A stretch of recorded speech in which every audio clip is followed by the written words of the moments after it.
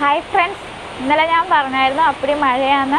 ആ മഴ ഇപ്പോഴും കണ്ടിന്യൂ ചെയ്തുകൊണ്ടിരിക്കുകയാണ്. ഇതുവരെ തോർന്നിട്ടില്ല. അതുപോലെ തന്നെ ഇന്ന് രാവിലെ ഞങ്ങളുടെ ഇവിടെയൊക്കെ ഉരുൾ പൊട്ടി. അതുകൊണ്ട് എല്ലാവരും സേഫായിട്ടിരിക്കാൻ ശ്രദ്ധിക്കുക. നമുക്കറിയാം എല്ലാ വർഷവും പ്രളയം മാത്രമാണ്. എങ്കിൽ ഈ വർഷം അതിന്റെ കൂടെ കൊറോണയും കൂടെ ഉണ്ട്. അതുകൊണ്ട് നമ്മൾ കുറച്ചും കൂടെ കൂടുതൽ ശ്രദ്ധിക്കേണ്ടതായിട്ടുണ്ട്. അതുകൊണ്ട് നമ്മുടെ സ്വന്തം വീട്ടിൽ സേഫ് അല്ല എന്നുണ്ടെങ്കിൽ നമ്മൾ അടുത്തുള്ള വീടുകളിലേക്കോ ബന്ധു വീട്ടിലേക്കോ മാറാൻ ശ്രമിക്കണം.